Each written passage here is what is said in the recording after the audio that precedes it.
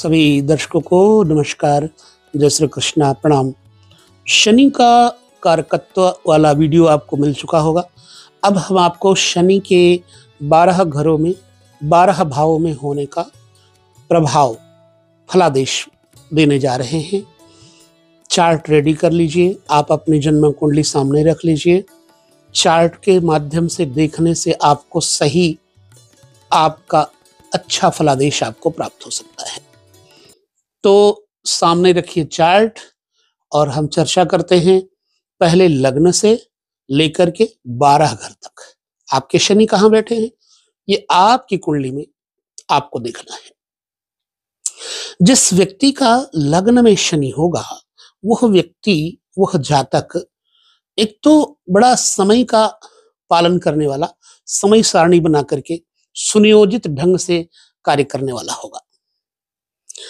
और काम करने की दूसरों को प्रेरणा देगा।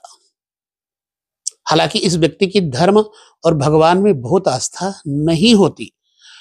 कई ऐसे जातक तो चिंताग्रस्त और शारीरिक दुख से पीड़ित रहते हैं, लग्न में शनि होने के कारण। काम काज में थोड़ी बहुत ढिलाई भी देते हैं, आलस भी देते हैं, बाधा पड़ती है, रुकावटें आती हैं कामकाज में। और यह व्यक्ति धन को धीरे धीरे जोड़ता है एक एक पाई जोड़ता है। विद्वानों ने तुला, धनु, मकर, कुंभ तथा मीन लग्नस्थ शनि को उत्तम बताया है। ऐसा जातक सुंदर, लंबा पतला, विद्वान, दीर्घायु, मतांतर से जातक धीर और गंभीर, परिश्रमी दायित्व तो निर्वाह, ज़िम्मेदारी उठाने वाला व्यक्ति होता है, कुशल होता है और दृढ़ संकल्पी होता है। भावना या संवेगों में बहना उसे अच्छा नहीं लगता, इमोशनल नहीं होता, कर्तव्यनिष्ठ होता है और अपने दृष्टि मात्र से यह व्यक्ति शत्रु को, अगले को डराने वाला होता है, भयभीत करने वाला होता है, जिसकी तरफ़ गुस्से से देख देगा, वो आदमी डर जाएगा। ठीक है? लग्न में शनि अगर है तो ऐसा फलादेश है। द्वितीय भाव में अगर शनि है तो धीमी किंतु अबाध गति से, धीमी गति होगी लेकिन अबाध धन देगी दूसरे घर में। आर्थिक दबाव तो निश्चित होगा, लेकिन प्राप्त संपत्ति हमेशा के लिए उसके पास रहती है चिरस्थाई रहती है। लोकप्रिय जातक और यशस्वी होता है।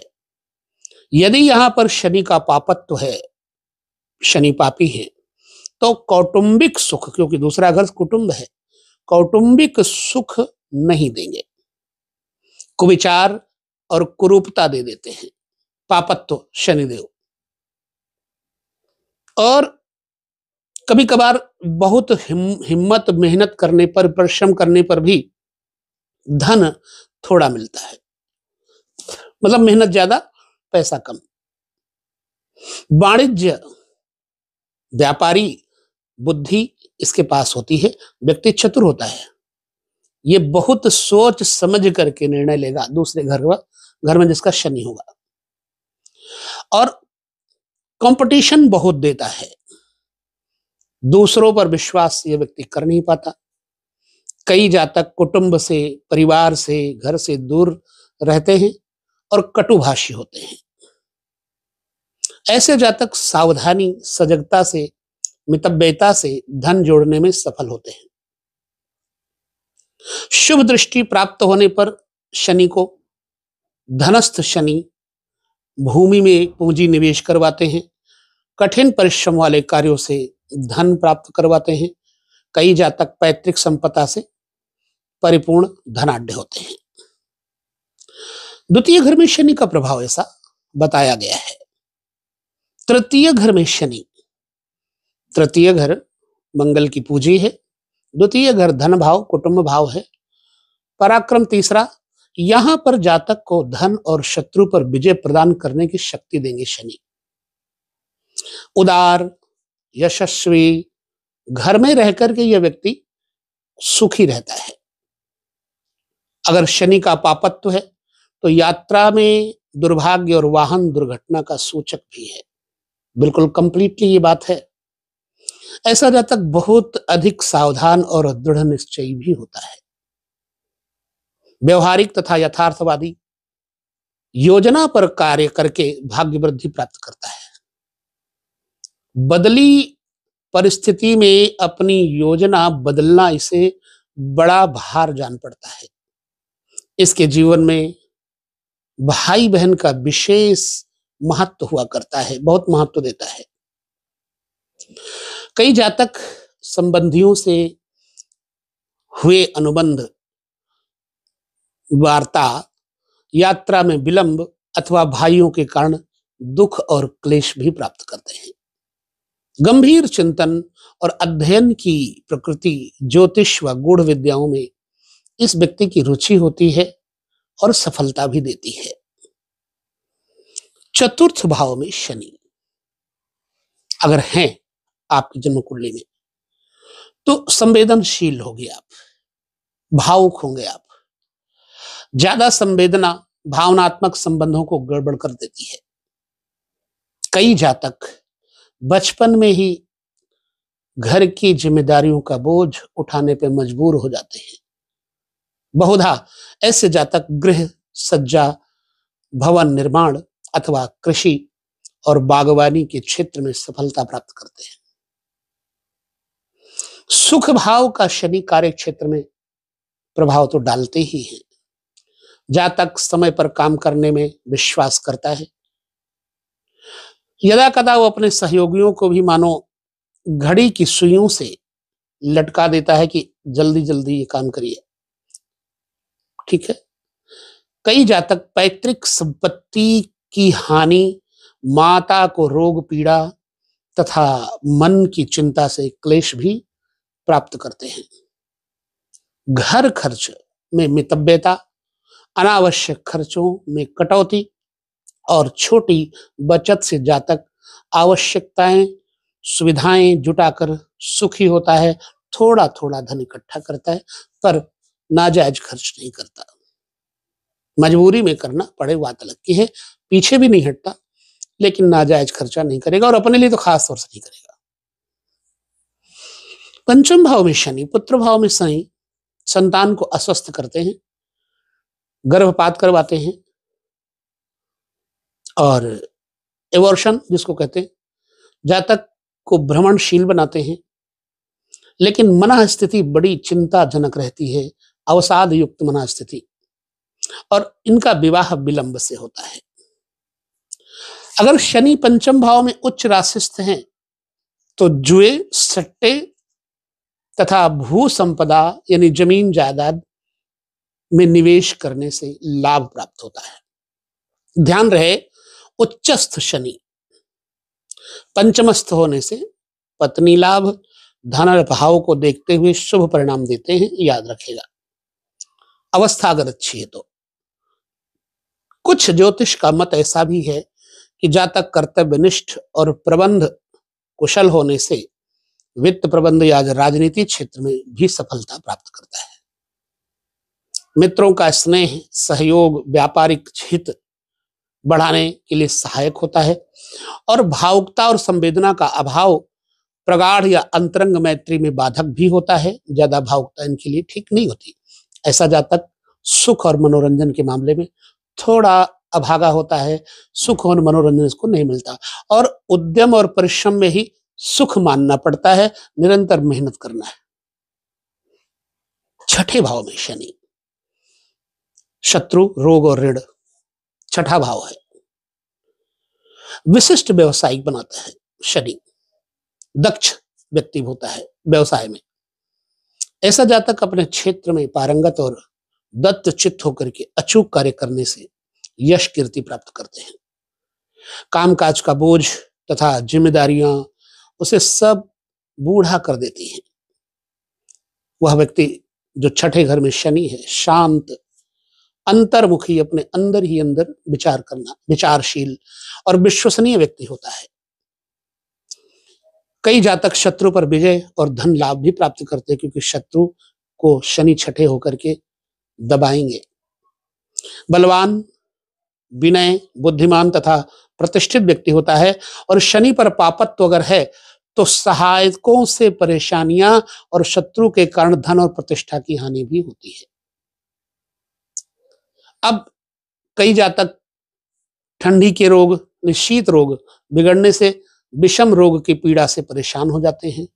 निश्चय निश्चय ही ऐसा व्यक्ति साहसी होता है, परिश्रमी होता है, किंतु कभी कभी सहायकों या नौकरों से, श्रमिकों से परेशानी इस व्यक्ति को मिलती है। छठे घर में शनि होने से ये प्रभाव रहता है। सप्तम भाव, पत्नी के भाव में शनि। दिग्बली होते हैं। जातक दाम्पत्य जीवन में मतभेद और वैमनस्य पूर्ण जीवन जीता है। इस व्यक्ति को काम सुख अच्छा नहीं लगता, काम सुख में कमी होती है। या फिर अनैतिक प्रणय संबंध से क्लेश पाता है, अनैतिक किसी और से प्रेम करता है और मन अपनी पत्नी में नहीं लगता। हाँ ऐसा जातक राजनीति में यश, सफलता, प्रसिद्धि ज़रूर प्राप्त करता है। कार्य विलंब से या बड़ी आयु की कन्या से विवाह करके सुख प्राप्त करता है। कई कई जातक सत्यनिष्ठ भी होते हैं। ऐसे जातक की पत्नी भले ही सांवली है, किंतु परिश्रमी और सत्यनिष्ठ होती है। ठीक है?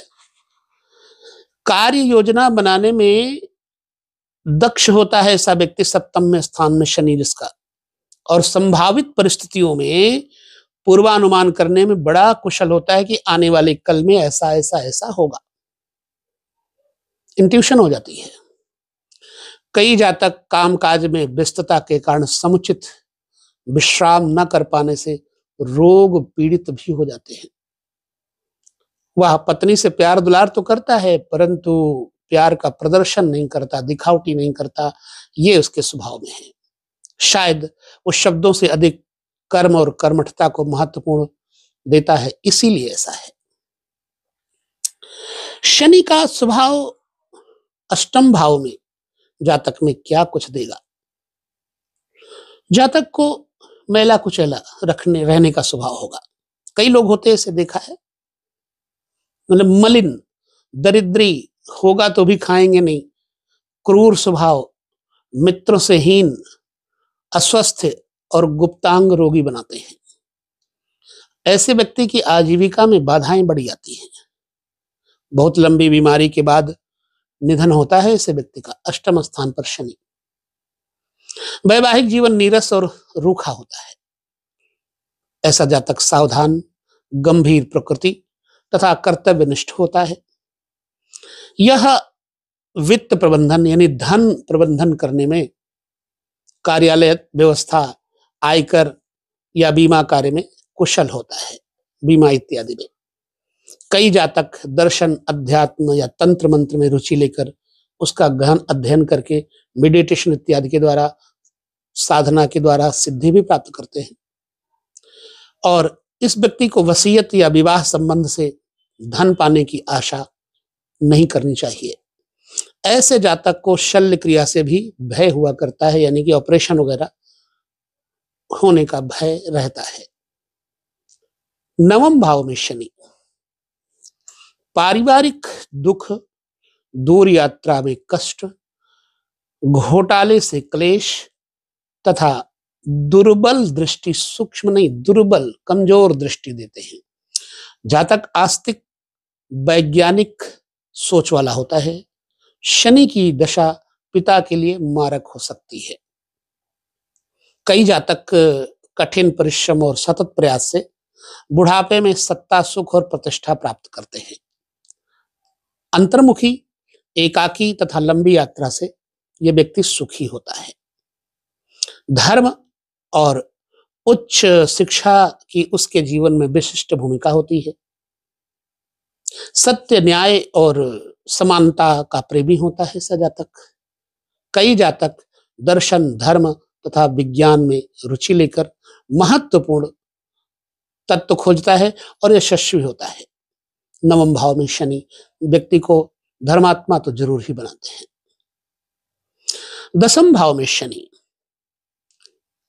चरम सीमा तक सफलता देते हैं, उच्चतम स्थिति तक पहुँचाने में शनिदेव सहायता करते हैं। ऐसे जातक धनी, मानी, यशस्वी, प्रतिष्ठित होते हैं। यदा कदा पत्नी की ऊपर शनि की दसम दृष्टि पड़ेगी ना, पत्नी के घर पे तो जातक में रुष्ट या अप्रसन्न रहने की उसकी पत्नी की आदत होती है। उसकी पत्नी तुनंग मिजाज उससे नाराज़ रहती है।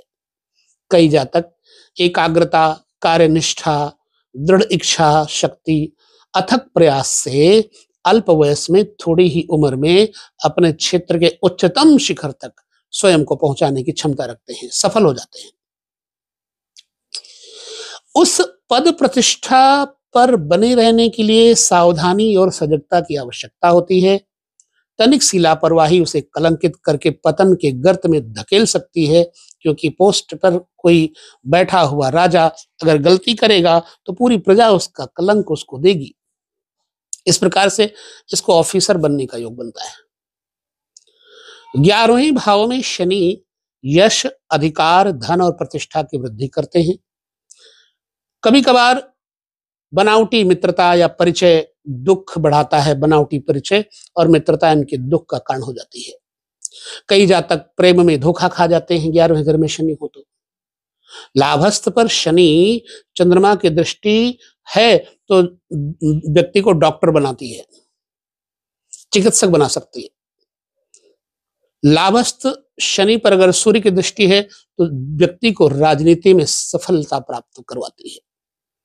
और सुंदर तथा मिलनसार व्यक्ति होता है। लोगों के साथ मिलकर टीम वर्किंग, टीम भावना से किए गए कार्य लाभ देते हैं और निष्ठावान तथा कार्यकुशल तथा प्रगतिशील बनाते हैं। ग्यारहवें घर में शनि। बारहवें घर में शनि। बारहवा घर है क्या? जेल खाना है, हॉस्पिटल है, ठीक है? बे है, पत्नी का शयन कक्ष है तो बारहवें घर में शनि शत्रुओं की वृद्धि करते हैं और जातक में निर्लजता आ जाती है और जातक को संतान का सुख नहीं देते। बुढ़ापे में कठिनाई, धन की हानि, परिवार से वियोग, ये मैंने सब देखा हुआ है कुंडलियों में।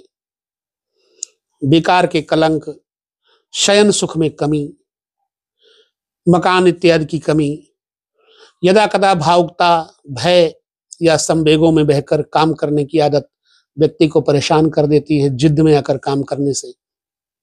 और दूसरों की निष्ठा तो चाहता है, किंतु स्वयं पहल नहीं करता।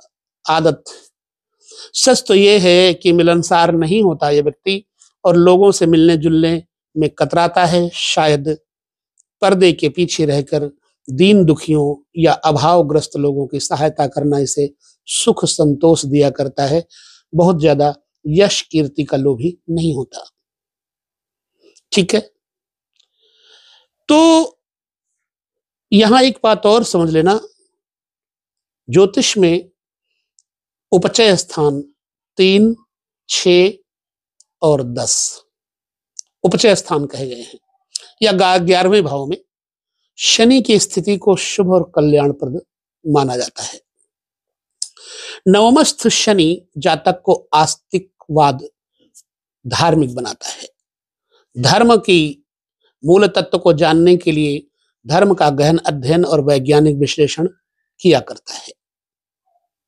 बहुधा कर्म यानी दसम भाव, लाभ यानी एकादश भाव का शनि धन, मान, यश बढ़ाता है।